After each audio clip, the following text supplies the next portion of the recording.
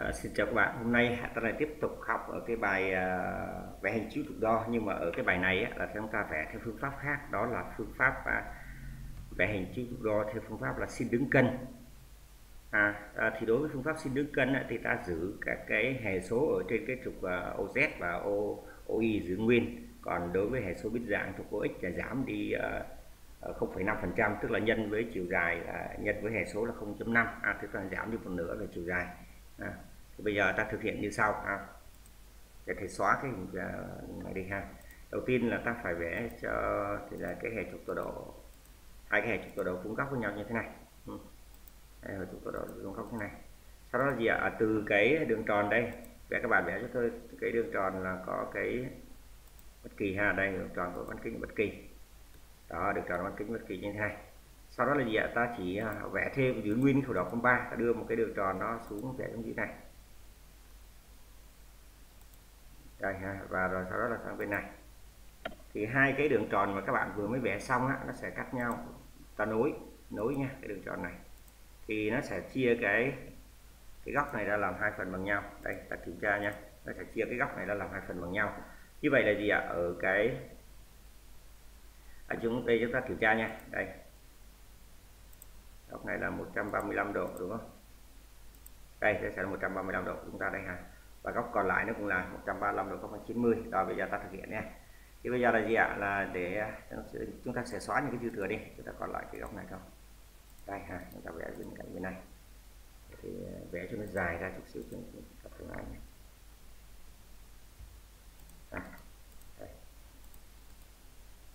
góc ra 135 độ nha. Để thầy xóa cho nó rẻ ra chút xíu mình làm, đúng không? Rồi đối với phương pháp mà vẽ hình chiếu à, trục đo à, đứng sinh cân á, thì cái ờ, trục à, à, Z này và Y thì nó giữ nguyên đúng không? Còn X thì biến dạng đi 0,5 phần trăm. Như vậy là gì bây giờ là gì ta thấy ta phải vẽ đầu tiên à, thì được thì ta vẽ biên dạng của cái cái cái mặt à, uh, IOZ của chúng ta. Tức là ta giữ nguyên cái kích thước ha ta vẽ y biên dạng như vậy ta giữ nguyên được chưa? Đầu tiên chúng ta vẽ biên dạng y chang như thế này không có thay đổi bất cứ một cái gì hết. À rồi nha. Tiếp theo được cho ta giữ vẽ nguyên biên dạng. Vì những cái phương pháp dạng này á, ưu tiên cho những cái trường hợp mà nó có hình tròn á hình tròn ta vẽ nó rất là dễ đúng không? vẽ hình tròn nó dễ hơn rất là nhiều tại vì không phải chỉ thành elip. À, được chưa? Vẽ biên dạng như thế này. Và sau đó ta thấy là diện chiều sâu ở đây là 40 đúng không? Như vậy là nếu mà chiều sâu 40 vậy hệ số biến dạng của nó là giảm đi một nửa đồng nghĩa với việc nó sẽ còn lại là mấy? Gọi là 20 nha. Đó được chưa? Và cũng tương tự như vậy ta kẻ các cái đường thẳng song song với các trục tọa độ. Ta kẻ các đường thẳng song song với trục tọa độ. Và cái chiều sâu cái này này à, nó hệ số biến dạng nó giảm một nửa cho nên chỉ còn có có 20 thôi. À thì bây giờ ta phải vẽ theo cái hệ số biến dạng nó còn là 20 ha. Đây là 20 đây 20 rồi, sau đó là gì ta xác định được cái vị trí của cái đường 20 thì bây giờ bắt đầu là gì ạ? Ta vẽ các cái cái đường thẳng song song nha, song song các trục tọa độ. Ta nhớ vẽ song song nha, song song các trục tọa độ đây ha. Đó đây sẽ có cái đường này trong mương ha. Xóa những cái tọa độ này. Được chưa? Rồi, sau đó gì ạ? Ta chỉ vẽ các đường thẳng song song các trục tọa độ thôi ha. Đây. Vẽ song song các trục tọa độ nha. Đây, từ cái điểm chúng ta vừa mới xác định xong cách 20 ạ và sau đó là gì? Ở dưới này à, chúng ta cũng vẽ các đường thẳng song song các trục của nó thì ta sẽ có cái khối hình hộp chữ nhật của nó nhé. Đây.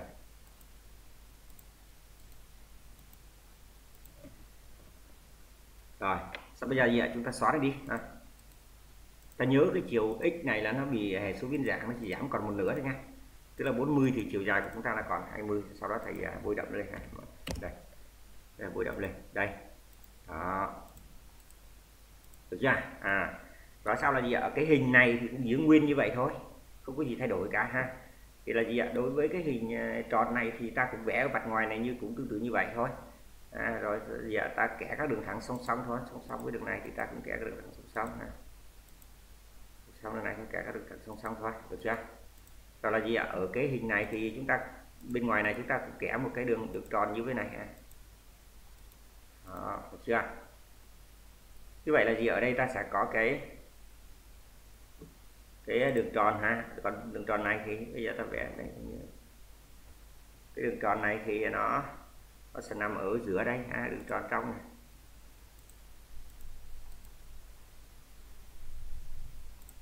Đây nó sẽ nằm ở giữa đường này. Đó, được chưa?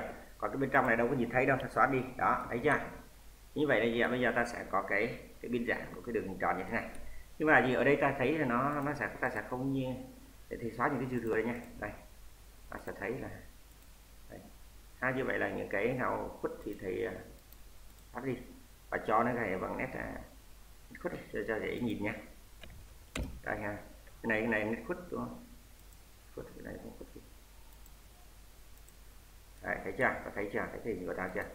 Và là gì? Ở trên đây nó phải cái đường này cái cái cạnh sống nó phải có một cái đường nhá thì à, ta phải vẽ một cái đường song song ở cái cạnh sống thế này. Đó được chưa? Đó là phải có một cái đường như thế thì ta phải nhìn thấy ha.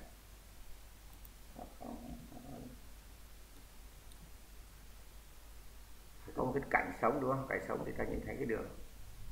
Yeah, à, đây phải có một cái cạnh sống đây. Đó đường đó ta phải có một đường đó và sau đó là gì ạ? Ở đây. À, nó phải có một cái đường như vậy đúng không?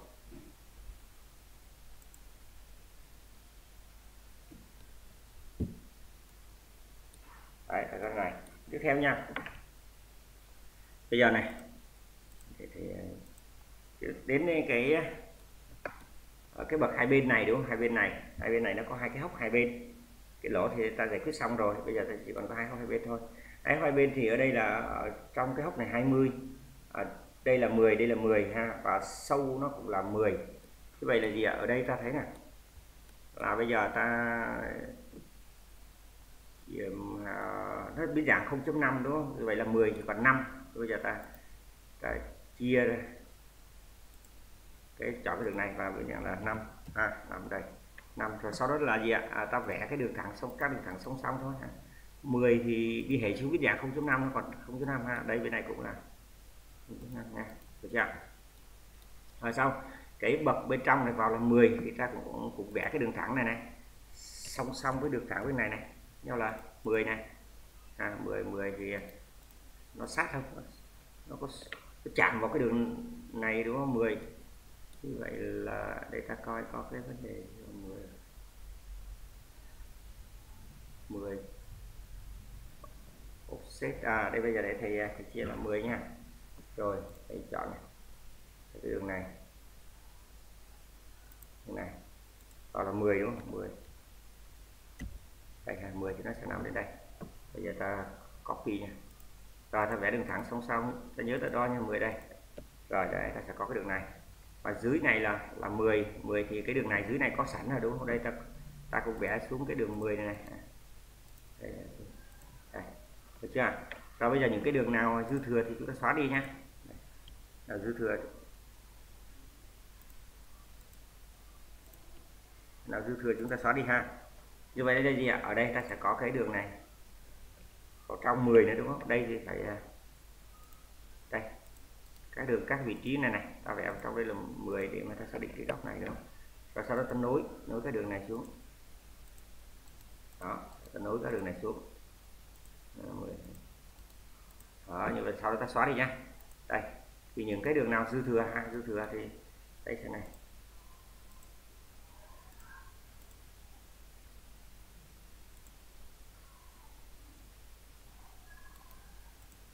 Đây ha đường dư thừa.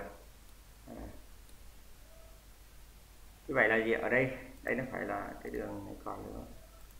Đây nó sẽ còn ở đây chứ. Ta xóa cái đường này đi. Đây đường này nữa xóa đi đó từ đây cái này, cái này còn đây cái này còn đúng không? Đây thì cái đường nào dư thừa chúng ta xóa đi không đây. Thì bây giờ nó sẽ gì ạ? Nó sẽ có hai cái bậc ở bên hông của chúng ta như vậy đúng không? Rồi cái đường này là đường nét nét nét liền. Thì à, ta thấy thấy không? Thấy đường này thì ta đậm ha. Còn cái đường bên trong là đường khuất. Bên trong là đường đứt ta không nhìn thấy ha. Trong nha đây đường trong là đường này đứt là không nhìn thấy ra nha. Đó như vậy là gì ở bên cạnh này là ta vẽ được rồi ha. Còn cái bên này nữa thôi. Cái này thì cũng tương tự như vậy. Đây cũng tương tự như vậy nha. anh này tôi copy nó bị lệch mình chạy. Đây. Đây? Được chưa? Đây, bên này nha. Bên này qua ta thấy cái gì? À anh xong bên này nha. Bây giờ còn bên này nữa. Thì là gì ạ? À, đầu tiên ta cũng à, vẽ vào này. Ở, ở bên này vào trong là 10 à thì ta cũng vẽ 10 vào thôi. À, ta vẽ 10 vào. À, đường này vào là 10 thôi. Đến đâu kể nó đúng không? 10 đây. Vậy là gì ạ? À? ta vẽ cái đường này này. Song song với đường ngoài cách nhau là là 10 ha. Cái nào mà nó bị khuất thì ta xóa đi đúng không? Nó khuất ở đâu nhìn thấy gì đâu. Vậy là cái đường này à, nó sẽ bị khuất. Được là đường này nó sẽ bị khuất không nhìn thấy nên đứt khuất là đâu nhìn thấy đâu đúng không? Và tiếp theo này ở cái cạnh bên ngoài này ra vào là 10 đúng không? Cạnh bên ngoài là 10 nhưng mà ta biết rồi là nó bị biến dạng. Cái chiều này biến dạng nó còn có 5 thì ta chỉ vẽ 5 thôi ha 5 thôi. Và sau đó ta copy nó vào. À, ta vẽ các đường thẳng song song ở cái vị trí ờ, cách 5 ta vừa mới làm đó ta vẽ song song 5 rồi bên này cũng vậy đúng không? Bên này ta cũng vẽ. Và à, đó. Và cái nào dư thừa? Đây cái này dư thừa đúng không? Đến đây thì à, ta không thấy xóa nó đi. Bên này cũng vậy ta xóa nó đi. Đấy, như vậy là gì cái bậc này là 5 đồng nghĩa với việc là gì? Ở đây nó cái đoạn này này nó sẽ không không không thấy đúng không? Không thấy. Chưa? Rồi bây giờ ta giờ ta vẽ xuống trước đấy tại vì à, ta cũng chưa biết nó đến đâu cả thì ta vẽ cái cái đường này xuống đi. Cho cái bậc xuống á. Đây rồi. Rồi là gì bây giờ tiếp theo là gì ạ? Ta vẽ cái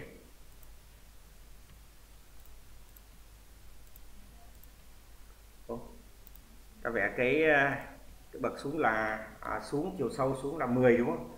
Là 10 10 thì à, ta đo nhé ta đo xuống ha ta đo xuống. Ta đo xuống đi ha bây giờ ta cũng chưa biết đến đâu cả thì bây giờ ta đo xuống 10 đi ha. Đường này 10 từ đây xuống đây là 10 ha thì ở đây bên này có rồi thầy copy rồi còn các bạn thì các bạn ta cứ vẽ 10 xuống ha. Đây. Như vậy là cái đường này nó đến đến đây đúng không? Đến đây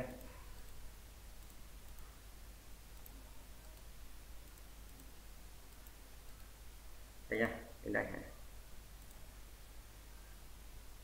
đến đây đúng không? Đến đây à, đến đây là đến 10 à. Rồi cái này dư thừa ta bỏ đi ha. Như vậy là vậy là gì cái đoạn này nó cũng quyết hết. Bên này không thấy gì luôn. À, bên này chỉ thấy như thế thôi. Đó bên này nó chỉ thấy mỗi cái bậc như thế thôi. À, như vậy thì với những cái kiến thức mà tôi trình bày ở bài học hôm nay sẽ giúp ích cho các bạn à, trong cái quá trình mà chúng ta xây dựng các cái dạng hình chiếu à, 3D. À, xin cảm ơn và chào tạm biệt các bạn nhé.